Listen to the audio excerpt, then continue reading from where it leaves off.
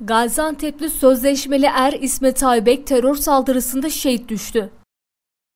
Şanlıurfa'nın Suruç ilçesindeki 3. Hudut Tabur Komutanlığı'na bağlı Esentepe Karakolu'nda nöbet değişimi yapılan askeri araca terör örgütü PKK-YPG tarafından roketli saldırı düzenlendi. Saldırıda sözleşmeli er İsmet Aybek şehit oldu.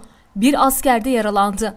Yaralı asker askeri ambulansa Şanlıurfa Mehmet Akif İnan Eğitim Araştırma Hastanesi'ne kaldırıldı.